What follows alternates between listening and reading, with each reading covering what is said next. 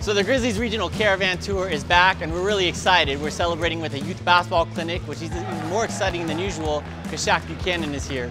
And what we're trying to do at these eight stops is give fans a taste of the NBA they might not otherwise get. Give me three claps, one, two, three. One, two, three. I hope uh, they get a lot of different skills. You know, we're going to be working on some footwork, conditioning, uh, ball handling, but you know, obviously just wanting to have fun and get the most out of being a Grizzly fan. It's uh, one of those things that's a once-in-a-lifetime opportunity. You know, how many times as a kid do you get to be on the floor with an NBA player? So I think that's going to be a real special opportunity for them today. Good shot. Good shot, good shot. I thought it was excellent. I really appreciated everything that they did. I loved all the training and the fun. I think the kids really